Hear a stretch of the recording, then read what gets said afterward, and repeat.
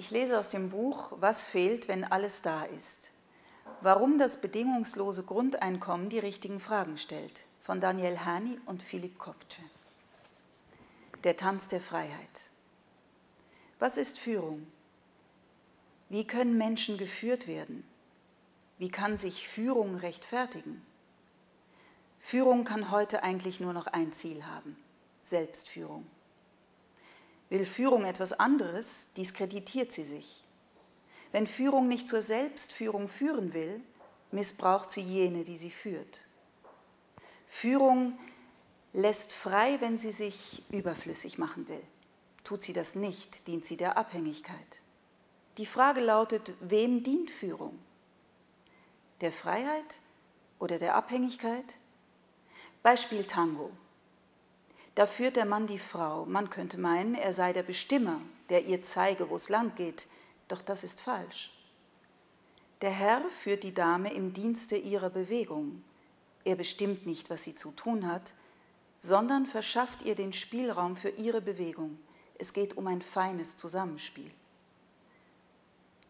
Für die Tänzerin ist es das Größte, sich dem Tänzer ganz hinzugeben, sich auf den von ihm geschaffenen Spielraum einzulassen und ihn auszukosten.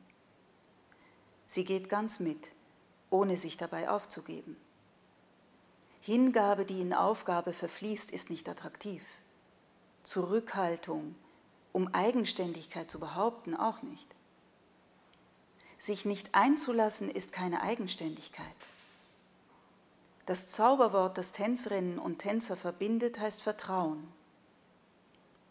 Die Tänzerinnen, die sich vertrauensvoll hingeben, ohne sich dabei aufzugeben, die sind die begehrtesten. Sie sind es, welche die Männer über sich hinauswachsen lassen. Misstrauische Frauen lassen Männer erstarren und zwei linke Beine haben. Und wiederum ähnlich geht es Frauen, die von misstrauischen Männern und solchen, die Führung falsch verstehen, geführt werden.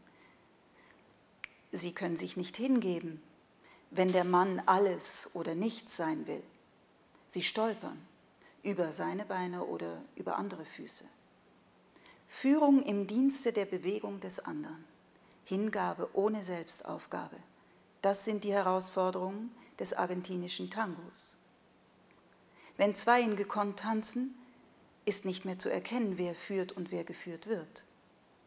Beide führen einander in Freiräume, die sie ohne den anderen gar nicht betreten könnten.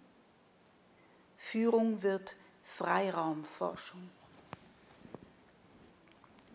Früher war es ein Erfolg, wenn man Menschen dazu bringen konnte, etwas auszuführen. So entstanden die ägyptischen Pyramiden und der Gotthardtunnel. In Zukunft wird es ein Erfolg sein, wenn man andere dazu befähigt, selbstverantwortlich tätig zu sein. Der gute Lehrer, der weiß es nicht besser als seine Schüler, sondern er dient seinem Schüler. Der gute Chef befiehlt nicht das Personal, sondern dient den Personen. Der gute Politiker repräsentiert nicht sich selbst, sondern dient seinen Wählern.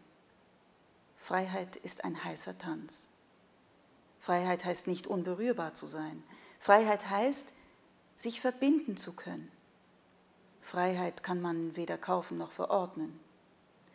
Man kann sie jedoch ermöglichen, indem man Selbstführung und Selbstverantwortung begünstigt.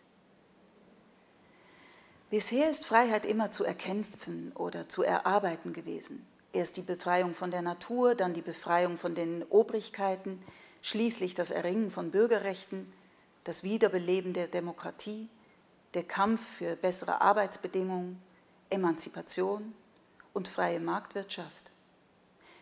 In Zukunft wird Freiheit nicht mehr so sehr erkämpft oder erarbeitet, sondern vor allem ergriffen werden müssen. Früher bestimmten äußere Strukturen den sozialen Zusammenhalt. Die Umstände, in denen wir hier hineingeboren wurden, haben uns geführt. Die Blutsbande haben uns getragen, aber auch gefangen gemacht. Die autoritären Systeme waren gesetzt. Es kam kein Knecht in den Sinn, ein Herr zu sein. Davon haben wir uns befreit und individualisiert. Freiheit ist da für jeden Einzelnen. Die Zukunft ist die Gegenwart freier Verbindung. Wahlverwandtschaften werden wichtiger. Wer sich über andere stellt, wird untergehen. Wer die anderen ausnutzen will, wird leer ausgehen. Wer aber seine Freiheit in den Dienst der anderen stellt, der hört die Zukunftsmusik, die zum Tanz aufspielt.